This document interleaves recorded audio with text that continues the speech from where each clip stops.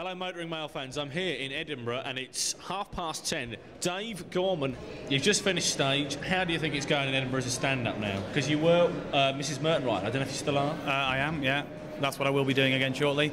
Uh, but before that, I was a stand-up. It isn't like I've decided to change. It's true. Um, that's what I do. And I don't know, were you were there? Was it funny? Were people laughing? Dave, we had a marvellous Thank you very much indeed. You, you seem to give a lot of yourself away on stage there. I don't know if it's all made up, Dave, or if it's real, Dave. It's uh, it's part and part. I mean, there's obviously there's two or three bits which are obviously true because you just wouldn't say them if they weren't, and there's two or three bits which are just kind of um, bollocks. You are a bit of a joke policeman, aren't you, Dave? You seem to be very concerned about using your own material, not stealing from the comedians. Um, Do you well, think that's something Not, that yeah, but it's not like I've actually just gone on and talked about that for an hour, is it? no, but it I seems, I've just picked that out.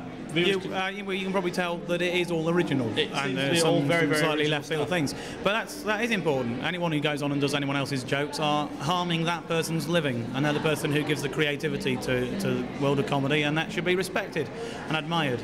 But now I say that, and I sound like a bit of an arse. How do you feel Edinburgh's gone? Because it seems quite hectic. You're, do you have to kind of like your cash is like what you get at Mador now, isn't it? Really. It is, but you don't come up to make money. You come up to show off. So what happens from here then? You you back off to do Mrs. Merton. Do you like the kind of faceless behind the scenes, or are you more happy in front of the camera? Um, I like doing both. It's uh, Mrs. Merton's a giggle, performing live's a giggle. If I had to give one up, I would I would carry on being a comedian live because that's the thing I love most of all.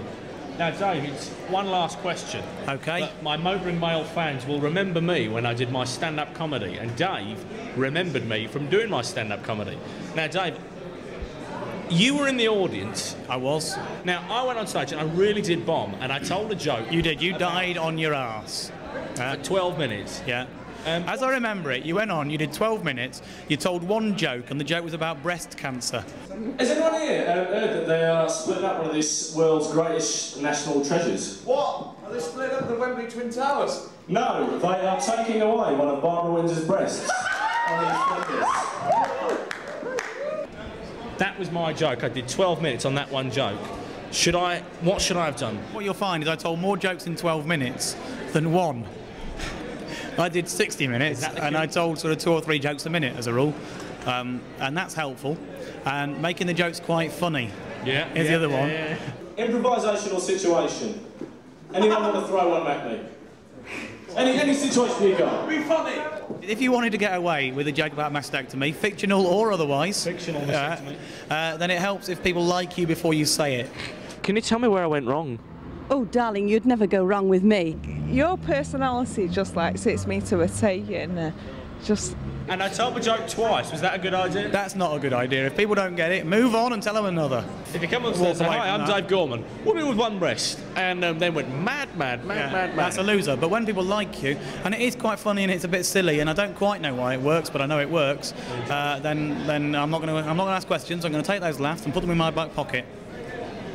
Dave Gorman, top bloke and very, very funny man. And if you don't watch Mrs. Merton and see him in front, he's behind. And if you watch him in front, she's not behind. That made no sense whatsoever. But thank you very much. Oh, one last No. question that we can cut in. You're, you're the Columbo of interviews. You've said Oh, one like last that? question about five times now. I know, but it just came out One last it. thing. My wife always wanted to know. what is this? You're right, you're right, Mrs. Merton. There was one classic, classic joke at the Brit Awards. Were you anything to do with uh, Charlie's Uh, yes, all four of us were. There's four of us write it, and we were all there, and uh, we all. I've no idea who actually crafted it properly, but we all sort of had a had a hand in it somewhere.